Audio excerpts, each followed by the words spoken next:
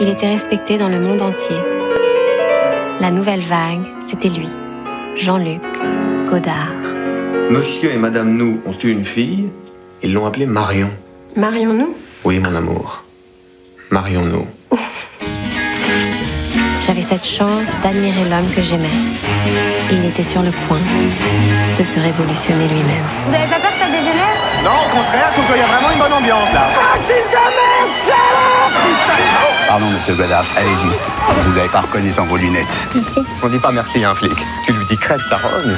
Enculé, je te prendrai par la peau des couilles avec les tripes du dernier curé. C'était ça qu'il fallait lui dire, rien d'autre. Le problème, si tu veux, c'est que je ne sais plus quoi faire. Il faut inventer un vrai cinéma politique. Faut que vous fassiez les films avec Belmondo, il est bon lui, il est marrant en plus. Bon, bah voilà, je vais pas engager Alain Delon puis lui foutre du plume dans le cul pour faire indien.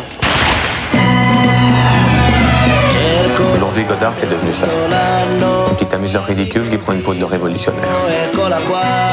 J'en peux plus de ce con.